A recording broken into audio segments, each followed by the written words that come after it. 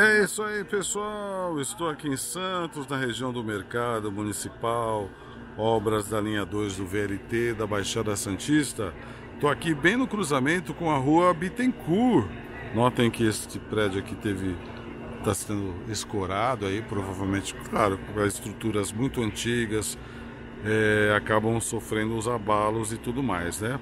Estou aqui para mostrar para vocês, andar mais um pouquinho com vocês aqui nesta região, que é bem histórica de Santos, né? Nota que nós temos aqui, olha, as obras, né? Porque ainda não temos o trilho nesse trecho. Ali adiante vocês conseguem ver a estação Mercado, já aí com a sua estrutura, até com a sinalização. Vamos dar uma voltinha para cá, para dar uma olhada. Justamente, nota que a gente está passando por um pedaço que é, está bem protegido aqui, né, para justamente não haver nenhum acidente. Aqui já temos alguns trilhos, já temos o leito aqui, neste pedaço. Vamos seguir em frente aqui. E estou aqui na rua Doutor Cochrane. Como eu falei já em um outro vídeo, eu gosto sempre de, de lembrar aí com você que no passado aqui circulavam os bondes e também depois os trólebus. Os bondes começaram a circular em 1912 e ficaram aí por mais de cerca de 54 anos aí circulando aqui os bondes elétricos. Eles exatamente por onde eu estou andando aqui. É, aqui eles iam nos dois sentidos, né, os bondes, sendo que quando ele é, ia para o centro, ele entrava lá na rua Amador Bueno. E quando ele voltava, ele vinha lá da rua João Pessoa. Aqui é o cruzamento com a, a Avenida São Francisco. E aqui temos, olha, olha só, temos o cemitério do Paquetá. Aqui. Deixa eu verificar aqui. Vamos passar por ali, olha, tem uma saidinha ali para a gente poder passar. Uma passarela, né?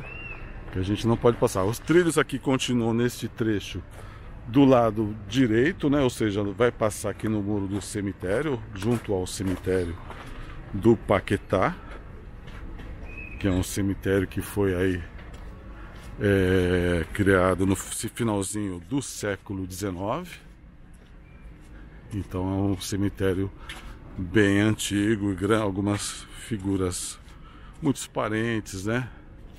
Meus estão sepultados aqui algumas figuras históricas, como Martins Fontes, é, o ex-governador Mário Covas, enfim, muita gente aí.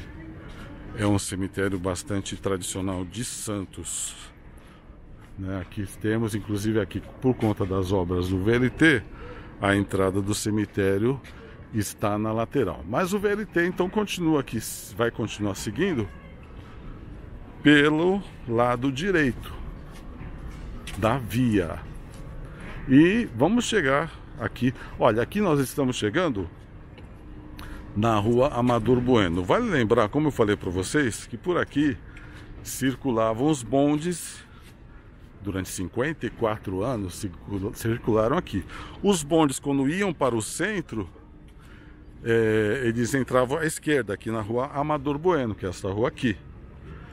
Quando eles vinham lá do centro, no caminho oposto, eles vinham lá da rua João Pessoa. Os trólebus vinham sempre da João Pessoa, porque quando eles passavam pelo mercado, eles entravam na rua Bittencourt. Ó, aqui é a rua Amador Bueno. Ali temos o Moinho Paulista, fabricante da farinha Nita. Aquela ali estamos em direção ao centro da cidade. Vamos continuar seguindo em frente, que eu quero ver aqui, aqui ah, justamente a curva. Como é que vai ser a curva na rua João Pessoa?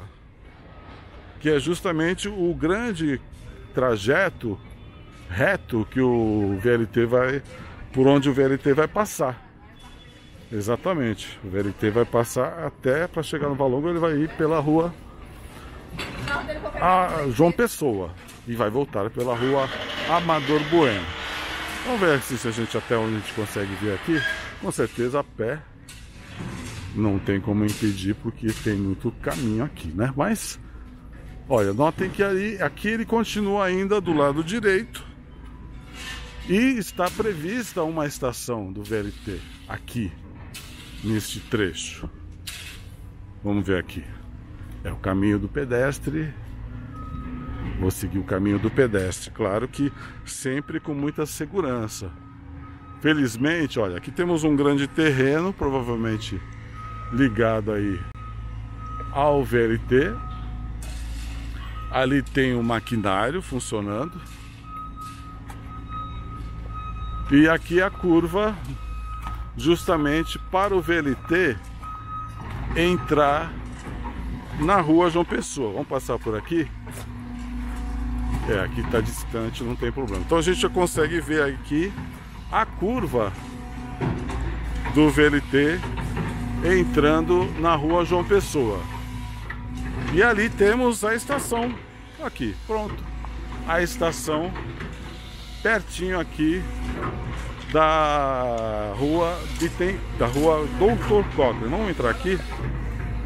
Nos afastar aqui que eu quero dar uma grande volta aqui. Bom, finalmente chegamos aqui na rua João Pessoa. Bem pertinho já do cais, ali a rua João Otávio. E Vamos dar a volta aqui, mantendo uma certa distância. Pontuando a data de hoje. Hoje é o dia 26 de julho de 2024. Uma sexta-feira. Então, o equipamento, as máquinas, o maquinário funcionando. Eu quero chegar ali justamente na futura estação do VLT. Não sei se, não lembro agora se vai ser estação Doutor Cochrane. Vamos bem comigo aqui que a gente vai dar uma voltinha aqui. E aqui são bastante bastante maquinários, bastante obras. Aqui eu não sei exatamente o que, que vai ser aquela, aquela central ali. Parece algo ligado ao VLT.